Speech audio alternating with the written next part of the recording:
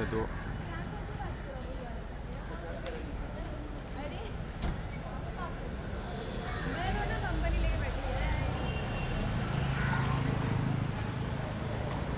थोड़ा मैम ये साइड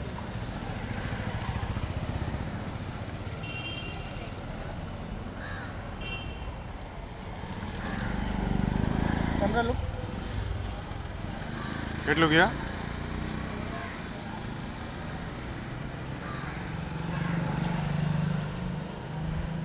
कैट जी कैट जी कैमरा लो एक छोटा सा वॉक मिल जाए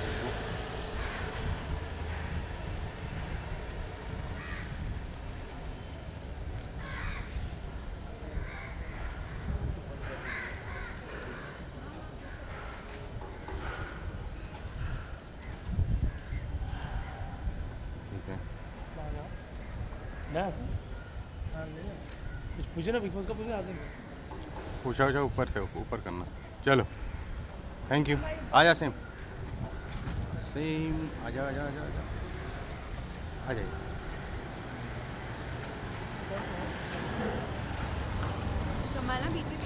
हाँ, हाँ हाँ। संभालो।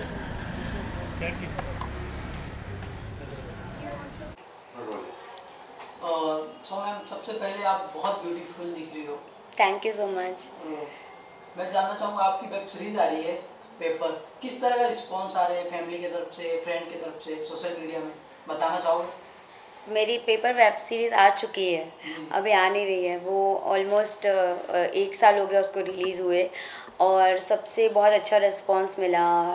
पहली बार मैंने वेब सीरीज़ में यू you नो know, अपना काम किया। And then Rohit Roy was a very good actor with me so yeah it was a good experience whole uh, जी आ, साथ आपका सीरियल भी आया था साथ निभाना साथिया जी। उनके बारे में बताना चाहोगे कुछ साथ साथ निभाना साथिया मैंने किया। उसमें मैंने थ्री मंथ्स का कैमियो किया था सिर्फ़। अ, वो मेरा पहला था शो देन मैंने मेरी दुर्गा किया ऑन स्टार प्लस देन मैंने परम अवतार श्री कृष्णा किया। अ, ऐसे करते करते मैंने तीन चार टेलीविज़न शोज़ कर लिए। And then now I am more into O T T and I want do some good web series project and music videos and films और जी मैं जानना चाहूँगा पेपर में आपका किरदार किस तरह का था बताना चाहोगे? जी पेपर में मेरा किरदार एक बहुत ही सेंसिटिव किरदार था। वो मतलब प्रोस्टिट्यूशन का कैरेक्टर था जो मैंने प्ले किया था। और वो इजी नहीं था मेरे लिए प्ले करना because kind of language they use kind of you know body language जो उनका होता है वो बहुत ही अलग होता है।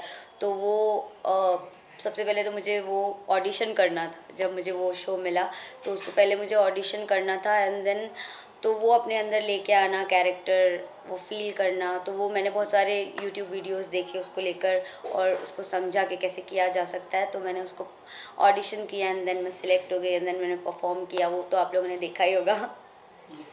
जैसे कि जब ऑफ़र आता है कोई भी वेब सीरीज़ या मूवी का तो लोग बहुत सोच समझ के उसको साइन करते हैं। तो आप क्या देख के साइन करते हो? कोई भी वेब सीरीज़ या मूवी किस क्या देख के आप साइन करते हो?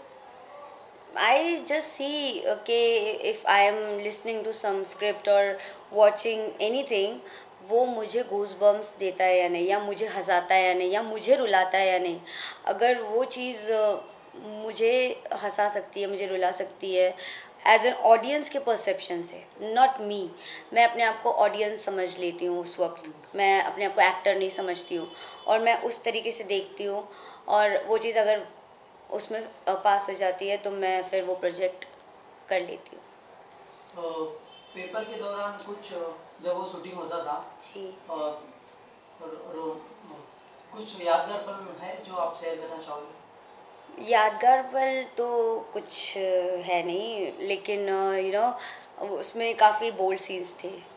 तो वो बोल्ड सीन करते समय मुझे बहुत ही हिचकिचाहट हो रही थी because it was my first time तो रोहित रॉय सर ने मुझे बहुत कंफर्टेबल फील करवाया और डायरेक्टर ने भी बहुत कंफर्टेबल फील करवाया। काफ़ी सारे सीन्स तो हमने काट दिए, क्योंकि I was not comfortable that much तो या, बस यही एक है कि if you are not comfortable ना यू नो डायरेक्टर या प्रोड्यूसर या एक्टर भी आपको सपोर्ट करते हैं।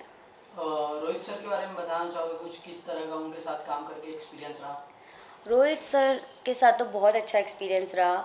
वो बहुत ही ज़्यादा समझदारी से काम करते हैं और उन्होंने जिस तरीके से मुझे सपोर्ट किया एज एन एक्टर बिकॉज़ मेरा फ़र्स्ट प्रोजेक्ट था। And then kind of support I got from him it was very good yeah आप किस तरह का मूवी पसंद करना चाहते हो? करना पसंद करते हो? आपका ड्रीम रोल क्या है? ड्रीम रोल तो बहुत सारे हैं एक नहीं है बड़ा मुझे रोम कॉम करना है। एंड देन मुझे रोम कॉम करना है बस मुझे रोम कॉम सबसे पहले करना है। और भी बहुत सारे हैं लिस्ट में। थ्रिलर भी करना है but rom com is my first choice जी। जी। आपकी अपकमिंग प्रोजेक्ट्स हैं कुछ जो है?